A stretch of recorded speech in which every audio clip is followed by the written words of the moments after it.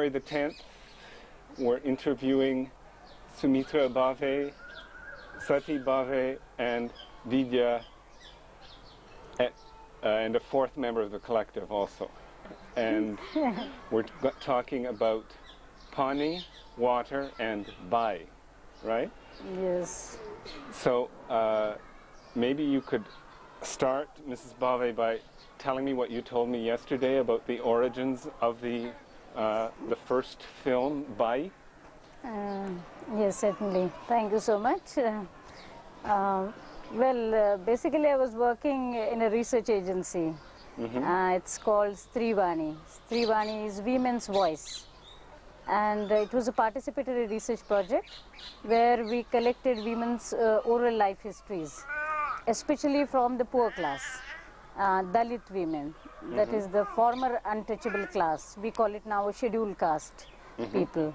So, um, uh, well, we went into their life much deeper, and um, after we collected those life stories, we wanted to give the feedback to them of their own inner strength, of what they are able to achieve in life. Um, and for that purpose, uh, we were wondering as to which media we need to use for giving this kind of a feedback. Well, some of our respondents were not able to read and write. So there was no point in uh, publishing their life stories in a book form. So then we had no other media but audio visual. Um, and that's how we decided to make a short film by selecting um, life story of a woman, our respondent um, called Shantabai Gaikwad. And um, what I did for the film was, uh, in fact, mixed uh, two stories. Uh, in the sense, Shantabai Gaikwad's and her own daughter's story. And that's how we made the script for Bai.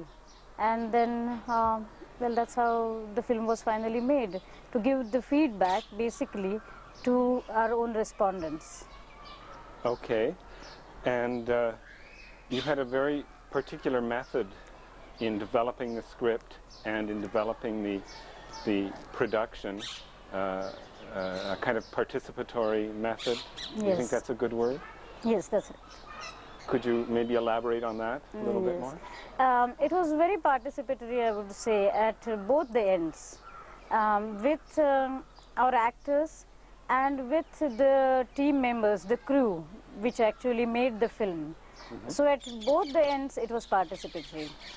It was, in a sense, participatory with the audience also, because what we did was. um well, I, though the credit uh, is given to me as a script writer and a dialogue writer, uh, in fact, the dialogue is not mine. The story is not the one which I have written as such. It's a real life story. What I did was only selected few of the incidents uh, to make it into a screen uh, form. Um, but even that selection was done in a way with the help of the uh, respondent whose life story it was. Uh, the dialogues were the dialogues that those women actually speak. So, in fact, we were very careful in retaining their own language. And uh, even while preparing the script, what we uh, did was we were working in a little team. Like Sati was there, Vidya was there, and there were three, four other team members at that time working with us. Uh, so we used to sit every day almost in a circle like and read aloud sort of those stories that we have prepared and discuss everything in detail in group situation. Uh, so in that sense also it was participatory. Later on uh, when it came to actual uh, shooting stage like, um, well since our um, actors were not the professional actors, in fact the old women in the slum have also acted in the film and it was not possible for us to give them the dialogues in writing like, uh, because they were not able to read. So we would just tell them the situation in the film. Like for example, you have seen the film. There is a scene of a. Um, they are all consoling the woman after the death of the child. So those dialogues, we just told them the situation that look here, this woman has lost her child. So how would you console her? Just go on and say those lines, and then they would very spontaneously start talking like. Now, only thing is they were, we had to family help them get familiarized with the uh, this uh, talking before so many people standing there, like in a dramatic situation. Like.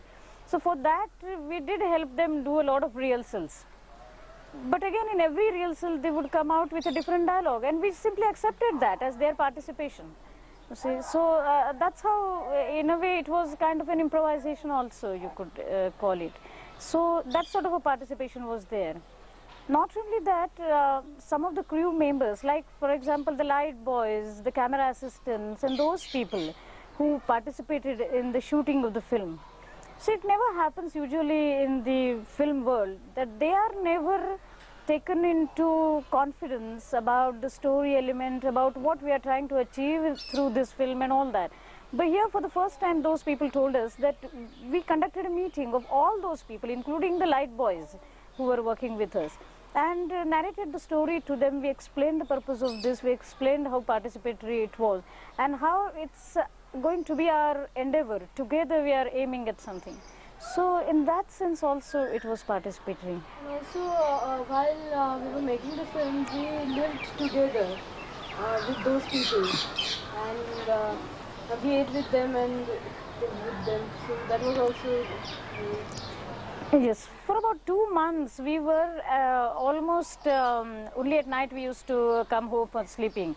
But early in the morning we used to go into that slum and stay there till late evening and used to have a lot of discussions with the community people. So that way almost the whole community was involved in the project we were doing like. Uh, that's how in fact people later asked us that uh, ours is only a, a location sound uh, because uh, dubbing is very expensive one thing. And also we wanted to retain the uh, authenticity of their own voices and other things see. So how you were able to get the pin drop silence on the location? Because in slums where you have so many people around children and women how it was possible? That was possible because we were going there for a pretty long time and uh, the whole community knew about the story what was happening there and everything so they all cooperated with us very well so in that sense i think it was participatory also, while we we were rehearsing there, uh, one or two problems of uh, the slum women uh, came out and uh, they started talking about uh, one uh, bride burning that uh, had happened before and all that. So it all came over while we were rehearsing.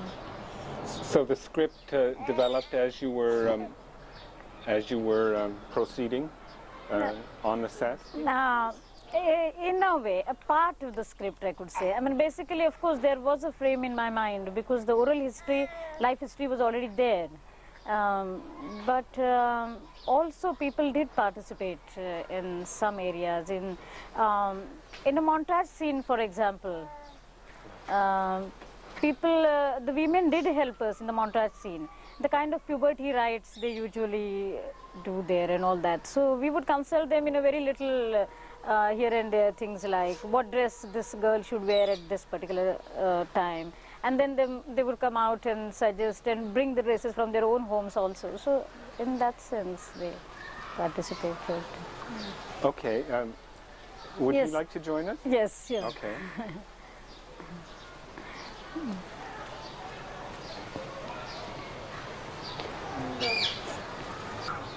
Okay, we've been uh, joined by Sunil, who was also part of the crew, the collective, and we were we've been talking about the production method, the kind of collective working on the set. Um, you started to talk about sound, which was very interesting. So maybe we can develop that a little bit. I think it was your work is really unique because no one else in India has such confidence on location sound. Uh, Everyone is terrified of location sound and they all post synchronize. So you could maybe talk a little bit more about that? about the confidence you said uh, maybe sometimes uh, i don't know the confidence might come out of my ignorance also of the media i'm not a trained person in this media after all and uh, not just that but perhaps uh, it comes from my uh, own training background i'm a trained social worker basically so that's how i prefer to listen to people's authentic voices See, they, they have their own tones and um, they have their own texture of uh, voice, and uh, nobody else can imitate that. Uh, uh, that's what we all believed, isn't that so? So we were very keen uh, on having that.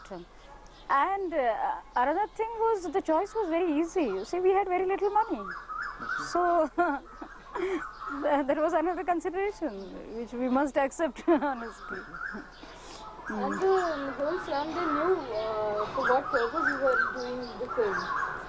They were uh, not uh, worried that uh, it would be that we will earn a lot of money from this film and uh, we are not giving them the share and all that. They didn't, uh, because uh, otherwise they do worry about such things. No? They, Yes. Huh. uh, they, uh, so they refuse to cooperate. That they uh, think that film people are very rich people and they will earn uh, on us and uh, like that. Have they had unfortunate experiences in the past with film? Yes, they filmmaking? did have, and they shared those with us.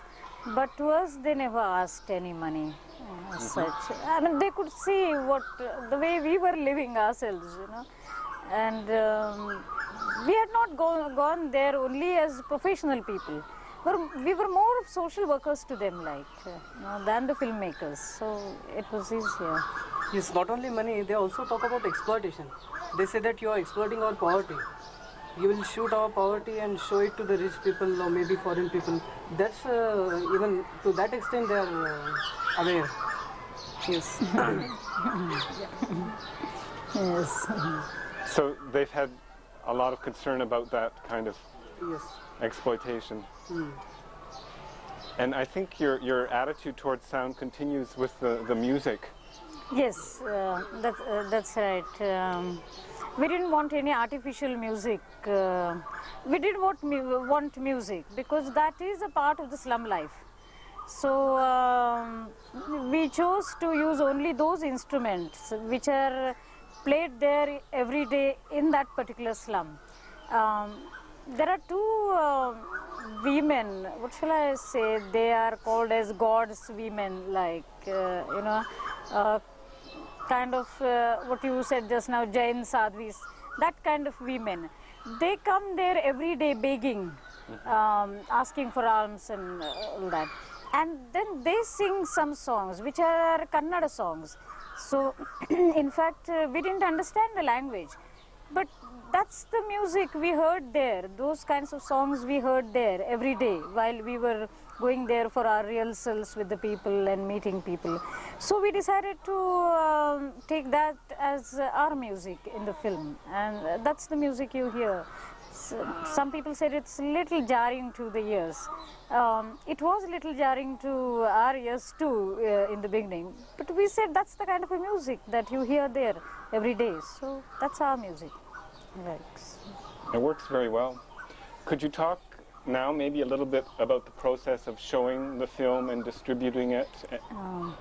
Um, Yes. Uh, uh, well, we were very uh, keen that we didn't want to show it um, into uh, the film cinema, cinema houses. Like, um, uh, it's because people come there basically to see the main film, and these are shown as um, appendices. You know, so people are not quite interested. They are not as attentive um, to these short films.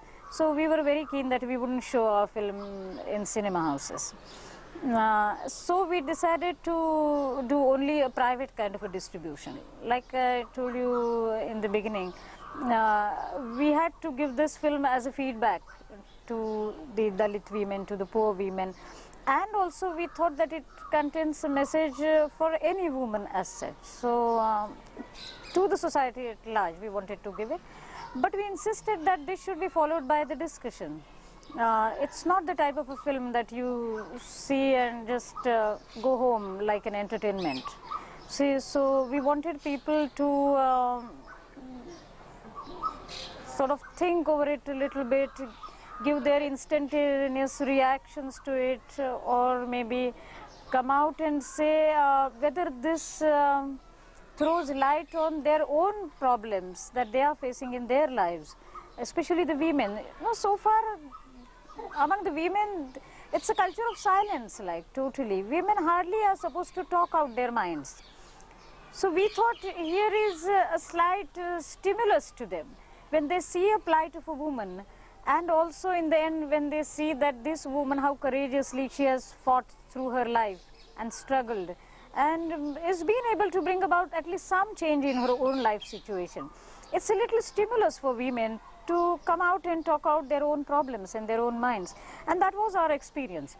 Women did start talking, they would come out and talk to us even their personal private problems like you know after seeing this film. Yes, Sati, you were about to say Uh, something. while watching the film also they would, uh, they would react very spontaneously and uh, they would uh, start talking uh, some old women they started talking with uh, the characters in the film while watching the film it was uh, that spontaneous Yes. Mm. And you had similar experiences with mixed audiences as you did with just women, or how did that differ? Yes, uh, it was. Uh, particularly um, uh, in case of um, the Alcoholic Anonymous group, uh, that was not a mixed group, but that was uh, the whole main group, and that was particularly the drunkard people, and who were there for the treatment, for the in the uh, center, cure center, and they also reacted very well. In fact, they came out with their own experiences of, of ex- experiences of beating their wives and uh, ruining their family and uh, spending money on the drinks, and so uh, they were, came out with their uh, own negative experiences also. Uh, but that's true. With the mixed audience, the response was slightly different. Um, t- so therefore, to an extent, uh, especially with the illiterate women, we would prefer the women's group initially uh, for showing this because we wanted women to talk more. Uh, but still, uh, when we would show it in the slum, it used to be in the open at night. So the audience was always mixed. But then later we used to insist uh, for discussion, especially with women. And women did participate in the discussion. Uh, men watched it and were little uh, sort of withdrawn and would observe it silently. And the distribution has been partly carried out by agencies, you were telling me? Yes, the voluntary agencies mostly. Uh, uh, quite a few of the agencies are buying our cassettes. Uh, that's uh, one way. And another is um they invite us for a screening uh, film. And we do make it a point. Usually uh, we try to adjust our dates and whatnot, uh, but make it a point to go and screen it and discuss it. So one of us, uh, we are about five, six people working together. Um, we go there, show the film and discuss it. The film has been in circulation since 1985. Uh, Uh, that's right, uh, 85. have you thought about how many people might have seen the film? Oh, uh, I think by now quite a few thousands, yes. About 100 groups. Uh, more than 100 More than groups. 100 groups, Yes. In fact, uh, only the other day, um, I didn't know personally about it, but Sati was telling me. She um, happened to meet a young lady who told her how keen she was to meet our group because uh, she's been showing Bai uh, in uh, some slums here around in the communities and how women appreciate it. In fact, in some slum, slums they dev- um demanded it to be shown twice or thrice also. Yes. So the response was very good. In fact. So they often enjoy seeing it a second time, do they? Uh, yes, uh, because then they're able to understand. after discussion also they didn't uh, Yeah. want to see Well, that's interesting. And on a technical level, uh, there's enough uh, video equipment around the various communities that they can see it on video, or is it usually on 16 millimeter? Or Um, well, most of the time it is on 16 uh, millimeter. Um, when we are invited, we project it on the 16 mm screen. But uh, the agencies who have bought our cassettes are certainly able to manage it uh, now. In so many small towns and all, there are video parlors now, so it's available. The equipment is available. Um, I doubt how many voluntary agencies own it, but they can hire it, hire the equipment now, uh, and that's how it's being shown. Okay, so maybe we should move ahead to um, Pani, which came out two years later, was it? Yes, two years later. And would you say that your collective philosophy of making films changed at all over those two years? Did you profit from any mistakes you had made in, or anything like this? Well, the philosophy didn't change at all. In fact, that was confirmed after our experience of Bai and the responses we got from our audience, from, um, well, even the people from the film, film world. See, at the time we made Bai, we were so ignorant. I didn't know anything of the filmmaking. I didn't know anything of the film world. Mm, uh, and um, like for example, this was the first shooting I saw. Uh, that was of our own film. See, I'd never seen any film shooting before. Uh, but after the encouragement from various voluntary agencies, uh, well, as a trained social worker, I always felt that we have a dearth of this kind of a material, audiovisual material. Um, it's either made by the government, say, which is slightly propagandistic. Um, I always More than felt. slightly, usually. Yes, perhaps, yeah. And, um, or it's made by the professional filmmakers, uh, which is sometimes uh, rather unrealistic. So we had to have something in the middle, um, I felt. And also the third category that is of uh, Anand Patwardhan's and uh, he makes uh, films... Uh, Excuse me for interrupting. It's better when you actually speak to your mother mm. with the sound, okay? Mm -hmm. So he makes, he doesn't make films for the mm, poor audience or the audience for the people who is shooting. No, I think you can. No, uh, that, uh, that, uh, that's not so. I mean, uh, of course, uh, I don't think he only visualizes a particular kind of an audience. Uh, but the point is that um, the type of film perhaps uh, people like him uh, make, uh, they're very good films, no doubt. Uh, we appreciate those, but uh, I wonder how, how far they will be appreciated by the illiterate audience. Um, I mean, the whole purpose, because it depicts reality but it, is, it doesn't give any concrete answers to them. Um, the answers not in the full, of course, but at least a direction. You know, uh, some um, uh, what do we say? Motivation. Um, yeah, motivational kind of an answer, but um, the direction for moving ahead. Sophisticated. The style is also very sophisticated. But Can, can you give me an example of that? Uh, of, of a stylistic thing in his films that is too sophisticated? Just out of curiosity, because I'm going to see him next week and I'm going to ask him about this. uh, sophisticated uh, in the sense. Uh, I don't know how it, the word is. No, say for example, I, I wouldn't call it sophisticated, but what she perhaps means to say is that um, the way he had juxtaposed very beautifully, I just appreciated that kind of a juxtaposition of the poor people and their experiences and the reaction of the elite and the rich people to that. Huh? It uh, profoundly brings out, uh, you see, exploitation and inequality. But um, naturally, the uh, speeches, perhaps, and some of the dialogues of the elite, for example, are in English. Uh, so it's definitely not meant for an illiterate audience.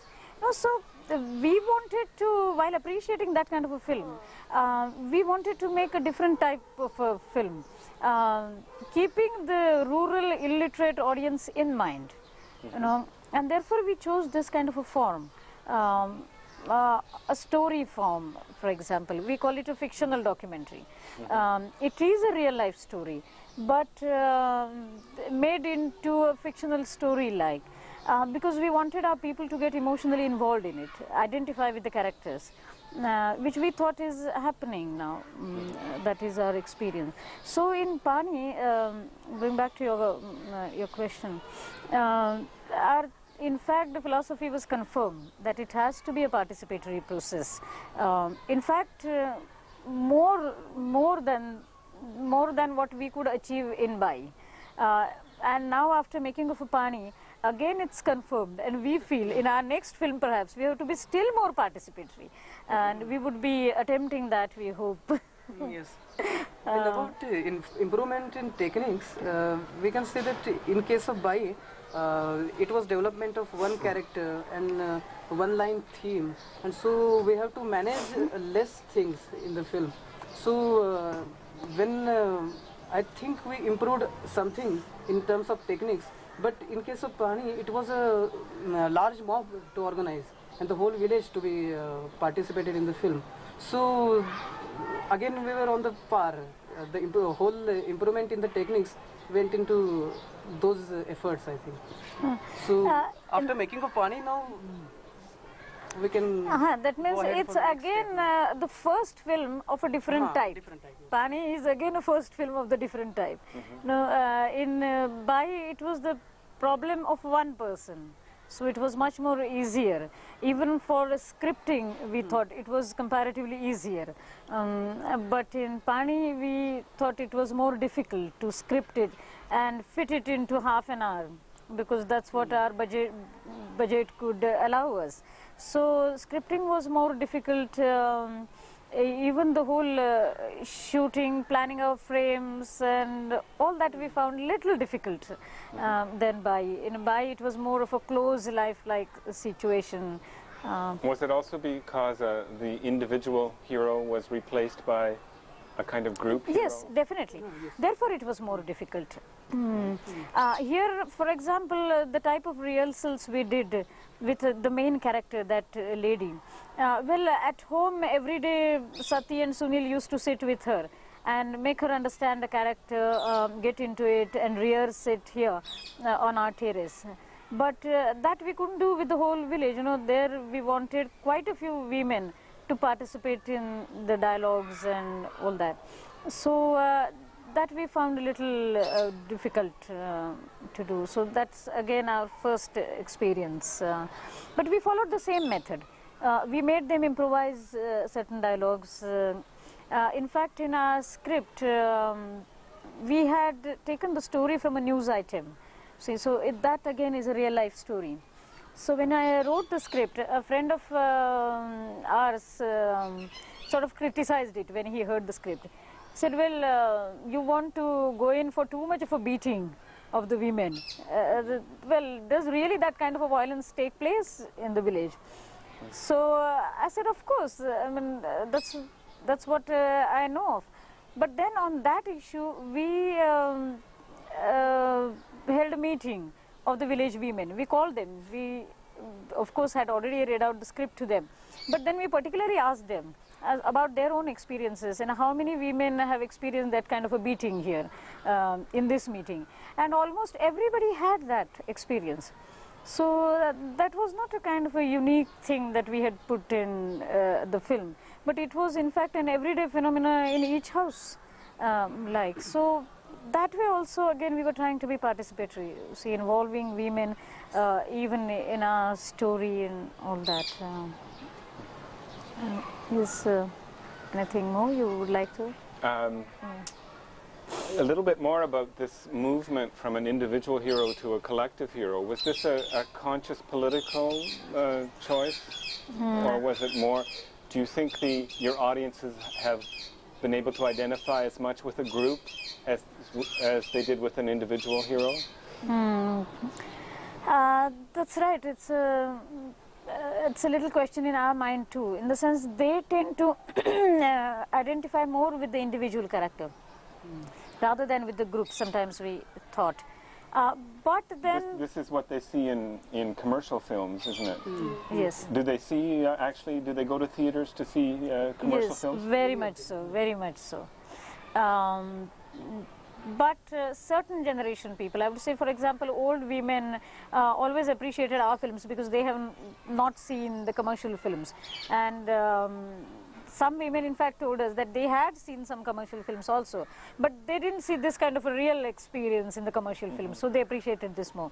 Uh, that also was the reaction. Uh, but yes, I would say this time it was a deliberate choice from individual to uh, group because um, the nature of problems are such that we definitely want to uh, motivate uh, individual people and at the same time um, make them conscious of how they are a part of the community life. And if uh, it's always, always the group effort that will solve their problems. I mean, uh, because like I said, the nature of problems is such, it's not their individual problem. So I do believe in uh, a kind of a um, feeling that what is personally social in fact.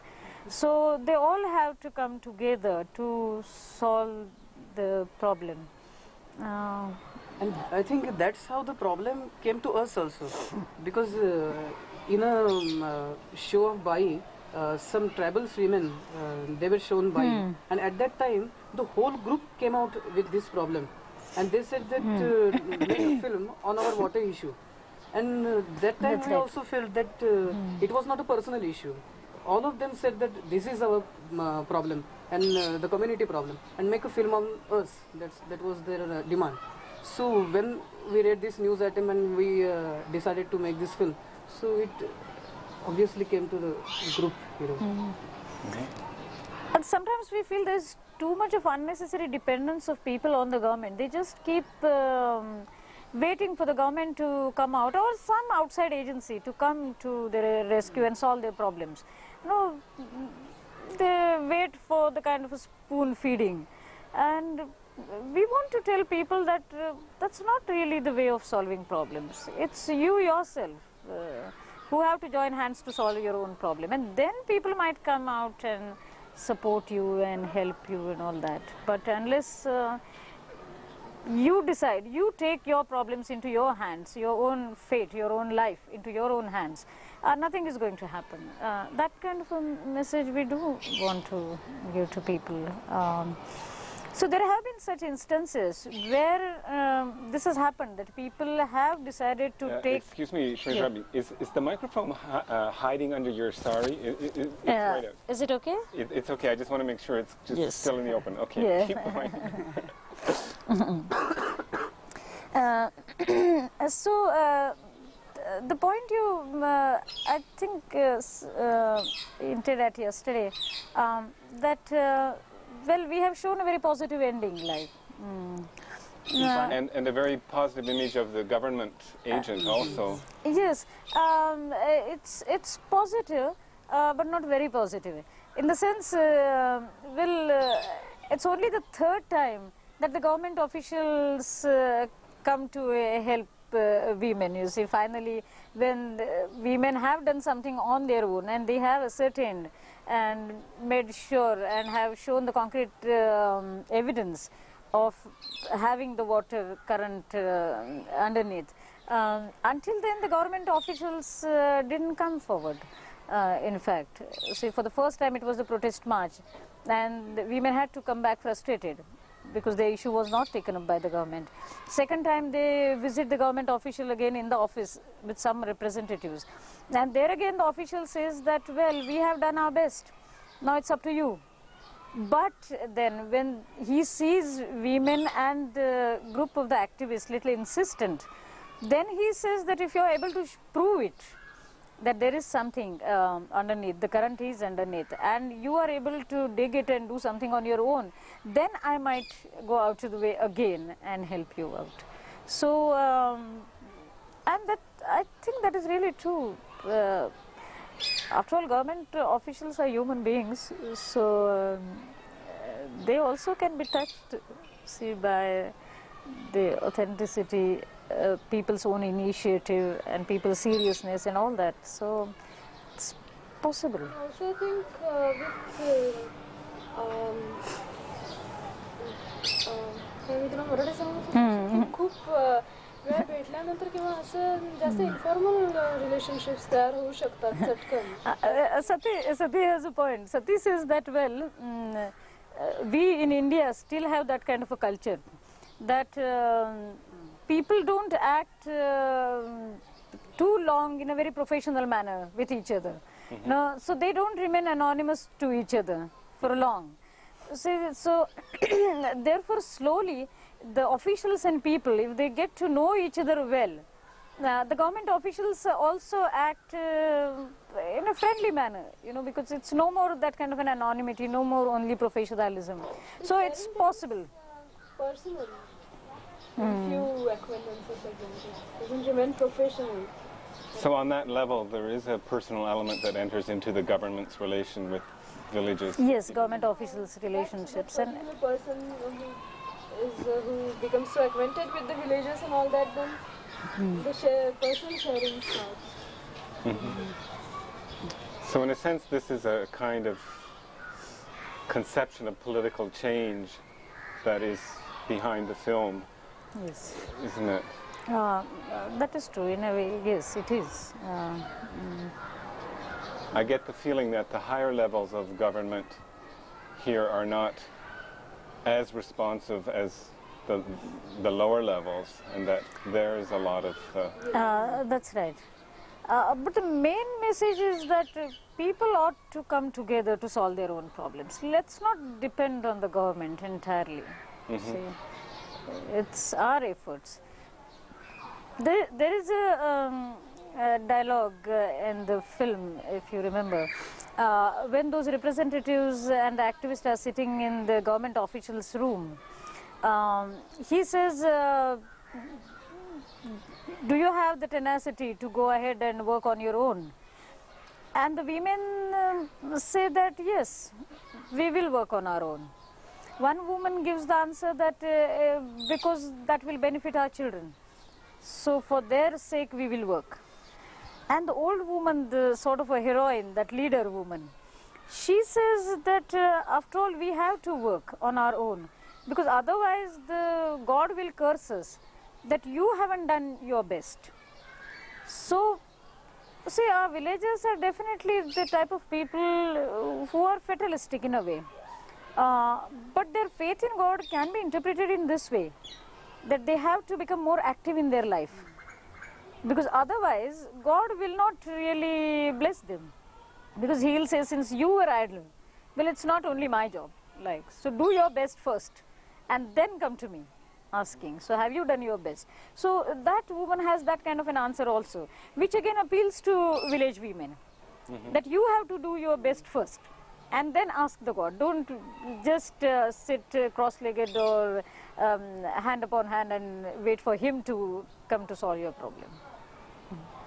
Has the situation for women in Indian villages changed in reality over the last generation? And do you really feel that women in Indian villages can be a, a motor for for change? I mean, there's a very optimistic feeling coming out of your films. Uh, Uh, yes, I'm very optimistic. I'm very optimistic, and uh, well, just now I'm coming, for, for example, from Tamil Nadu villages, and those women also I saw there. And uh, I wouldn't say that women have changed, but there is a tremendous potential in them uh, because they are the ones uh, who are more closer to life, life struggle, you see, um, than men. You know, men have lost that touch with the soil, the actual life, uh, with the children and the struggle of life. Uh, so it's the women folk uh, who are who whom I see as tremendous hope, you know, and they are realizing that slowly. Um, in whatever way, but uh, it's really true that especially in the cities, the slum people and all that, but even in villages, I would say, uh, not uh, in a very remote villages perhaps, but uh, they are exposed to lot of messages now coming from the media.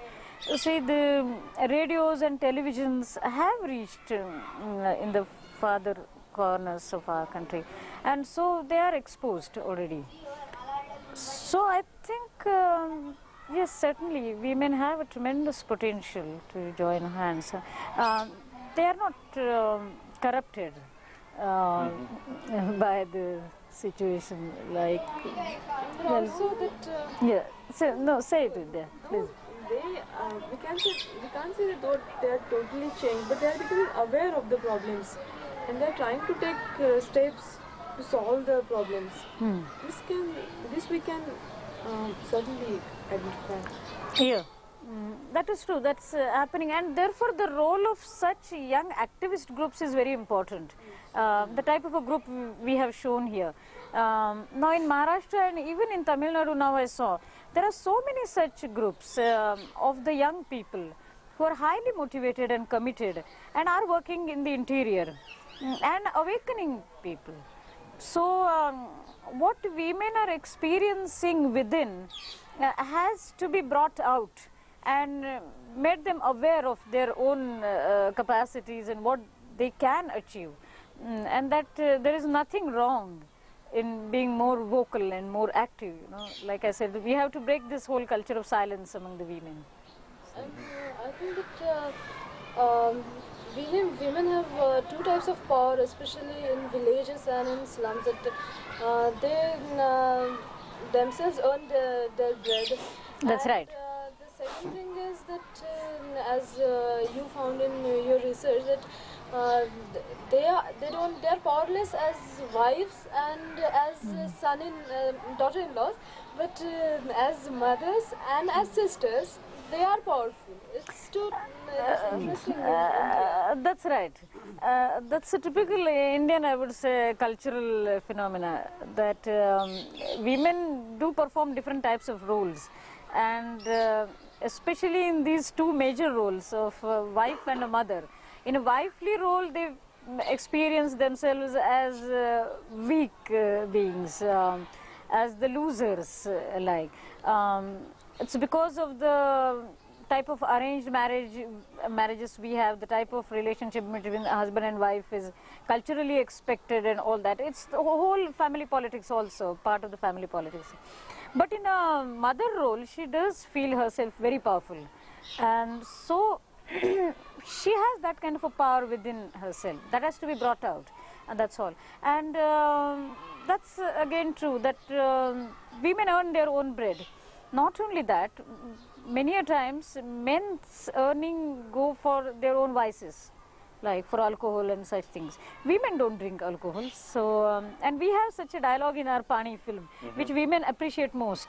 That one of these young activist uh, boy or a man you can say young man is talking to some women and one woman is crying there you know, and he's saying that I wonder, women also toil as hard and work as hard as men, but one has never heard that because women woman worked so hard and she uh, later became alcoholic and destroyed the whole of family life. One never uh, heard any single such case. Then why do only men have to go for alcoholism?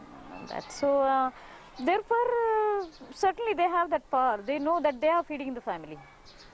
So after a stage, I think after mm, uh, her uh, in her 40s, she becomes the most powerful in her family because her children are on her side and her husband is weakened because of his vices Yes. and all those things, and she That's becomes the powerful person in the family. Yes. So with a little support and uh, help, uh, support both actual concrete material support and moral support. You know, she could become very strong. I think. Um, yeah. So this provides a context for change in Indian society that a lot of people in the West aren't aware of. Um, um, Yes. Western feminists who are very interested in uh, women's roles in India, for example, they talk about bride burning and, and the family system, but I guess aren't aware of this sort of matriarchal uh, tradition. Ah, yes, uh, it's not exactly matriarchal. The, so I say always that uh, uh, it is a patriarchal society, but in a way uh, matrifocal also. Uh, you can say not quite matriarchal, but yes, uh, matrifocal. There's a lot of mother worship uh, in India. so. There's also a very distinct uh, women's culture in your films that Yes. that is very vivid and very different, I think, from male culture, and I think that's another Yes. Uh, revelation of your films, perhaps a, a secondary revelation, but it, it's certainly there. Um, I'm sort of running out of questions. I'm wondering if you think I've left anything out or whether you would like to add some things. No, uh, one thing we uh, we may add because uh, that's one of our major concerns. Now that we have formed ourselves into a group, we call ourselves as Srujan. Srujan um, is a Sanskrit word uh, for uh, creativity. Uh, so uh, that's what we call ourselves, and uh, we have uh, founded a small trust of our own. And we don't know how to raise money for our kind of a film. See, because uh, it's not commercially viable um, film, basically. And also, we don't want to go into the commercial distribution of such kind of a film.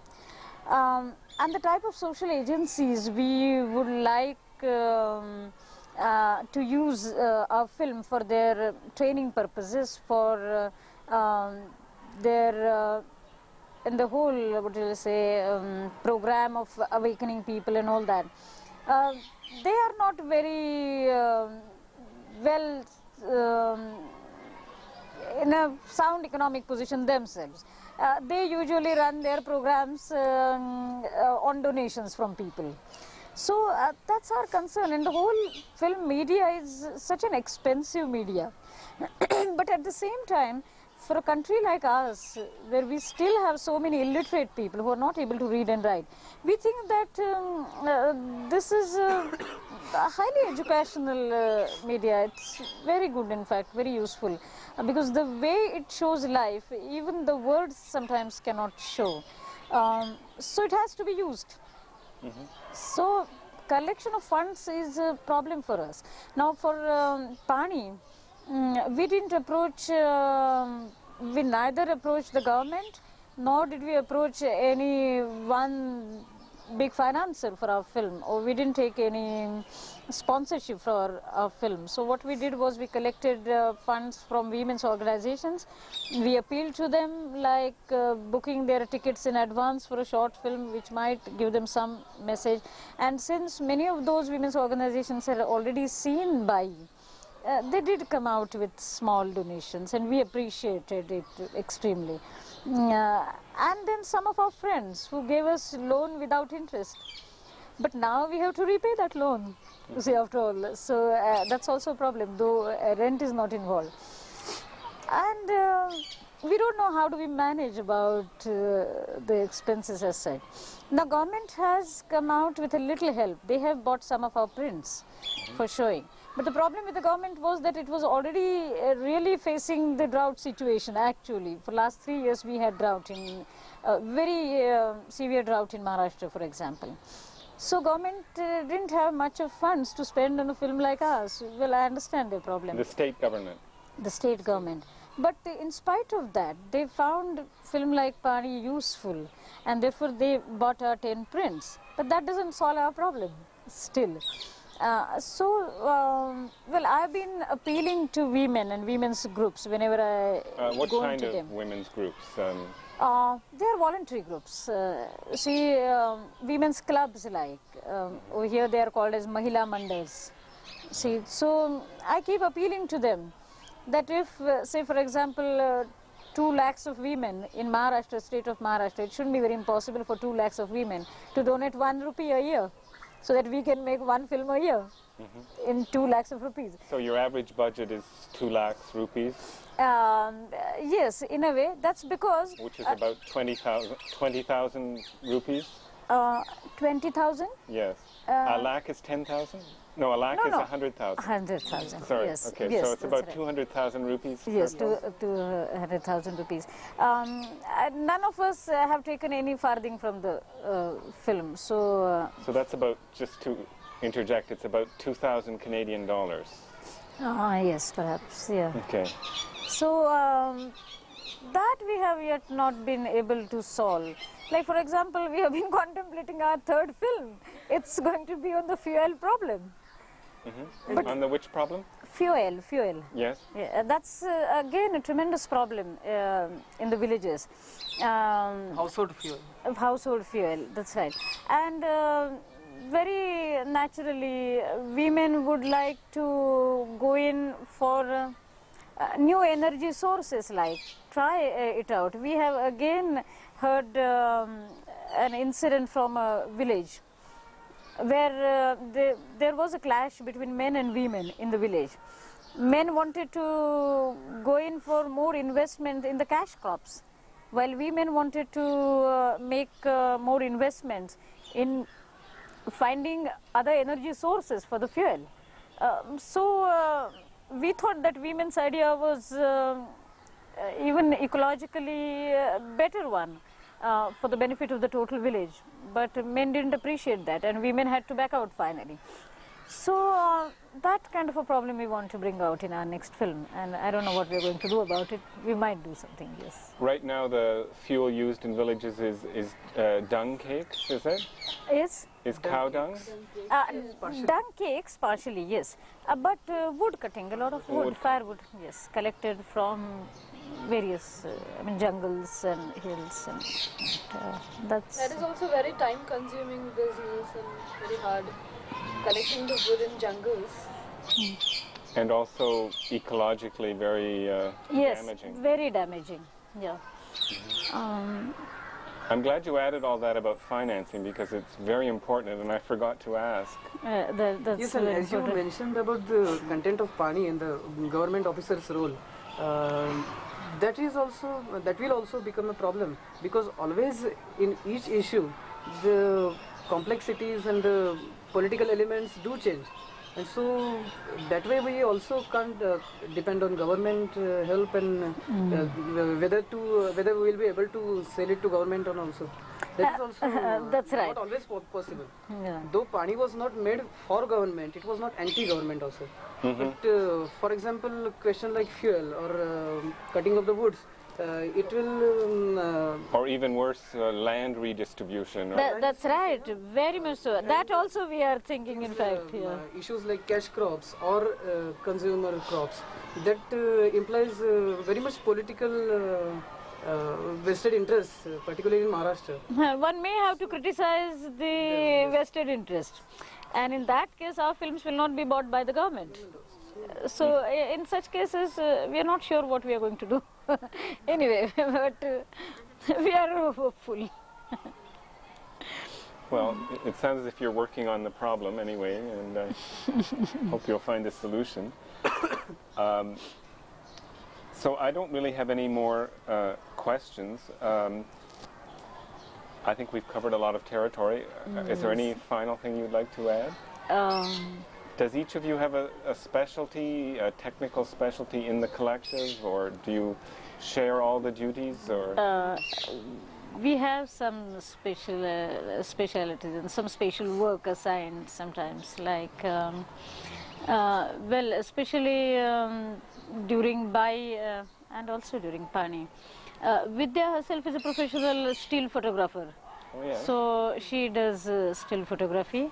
Uh, she would look into the um, drapery part and uh, um, other details of every scene and all that. Uh, a lot of management and especially um, at the time of Pani, uh, you can imagine this little birbal was in her belly. Um, and uh, with him she used to run about everywhere. And the village women so much appreciated her. She was doing such a hard work you know without really making any fuss about her pregnancy. She was very very pregnant at that time. So but she manages that most of the times. Um, the script part uh, i write it in the beginning but then we all discuss it together and do make changes in it. And everybody uh, of course comes out with uh, their own suggestions and whatnot. So that's what we do. Mm, shooting script and framing many a times um, um, sunil mm, does that uh, work, you know, preparing the shooting script. Now that he's a student in the film institute, you know, he's getting trained mm, in that area. Um, the, that's the special reason why we got him into the film institute. Got him in the sense he got the admission, but well, uh, we wanted him to take training. At least some of us take training. Uh, at the time of Bai, Sati and Sunil both uh, did help in preparing the shooting script. Mm, uh, for Pani, Sati wasn't well, so she couldn't participate much in the process.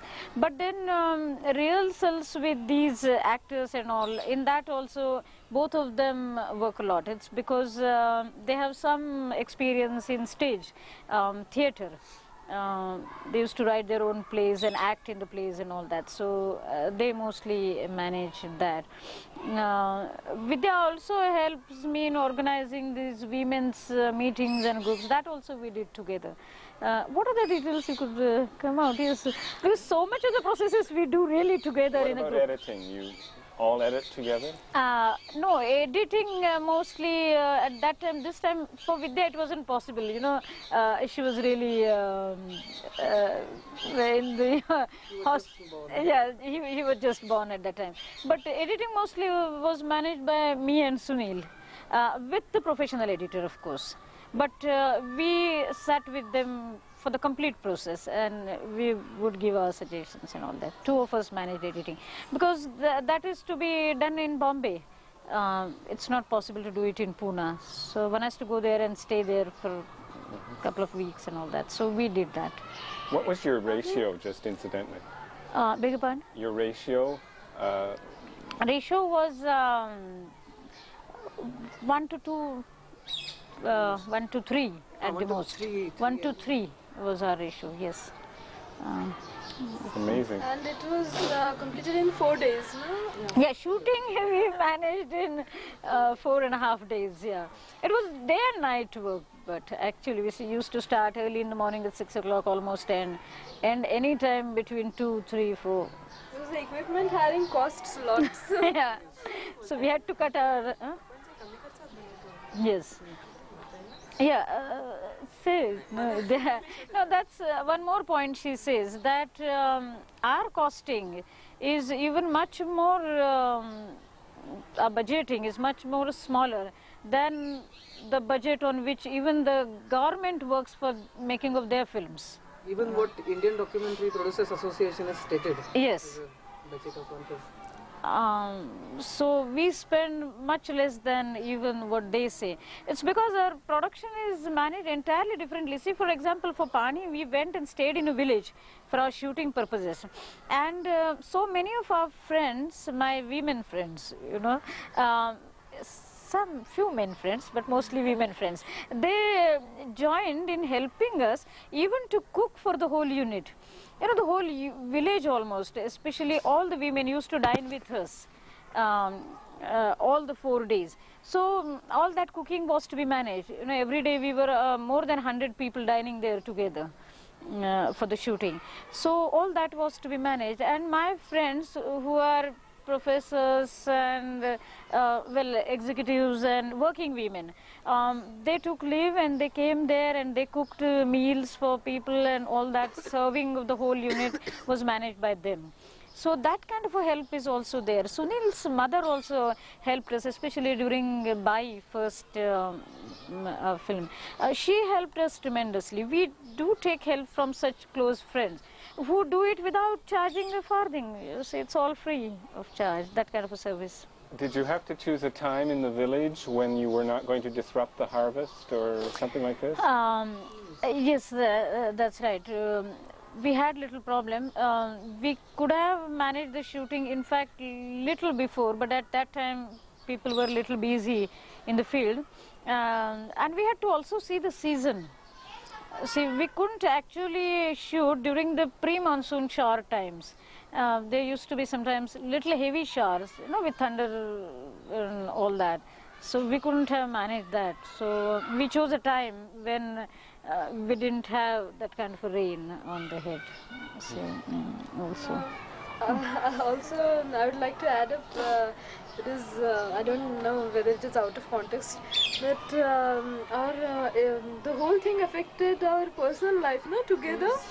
That is very interesting. Yes, certainly. In a good way or a bad way? In a very good, Very good way.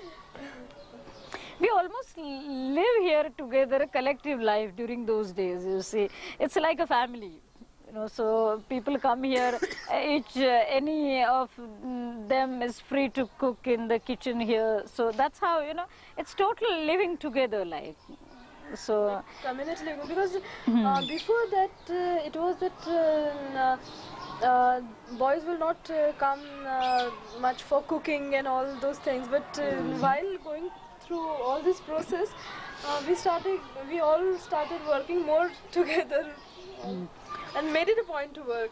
Yes, we uh, deliberately decided that if we have to uh, put forward women's issues, then we have to uh, transcend our own gender roles. Otherwise, it would be quite superficial. Though it may be not may not be depicted in the films, but it is not. We don't consider ourselves only as professional filmmakers you see. That's the main difference. So uh, that's why we used to discuss these details in our group. And we very much even today make it a point to discuss such little matters in our group you know and act as collectively as possible uh, with uh, sharing quite a few of our resources whatever resources we have we try to share it among ourselves and all that. So uh, like Sati said, perhaps it's beside the point, but it is important to us. It It, is. it's really not beside the point. I mean, I think it, it does reflect itself a lot in, in the actual works and in your relationship to your audience. I think it's true. And since all five of you are in the frame, it's a good image of that uh, family relationship. So uh, we should stop unless there's Yes. any other. Uh, no, I don't think uh, it doesn't occur to me. Okay, we've been going a good hour, so Yes, thank you so I think much. we've covered lots of territory. I'm just trying to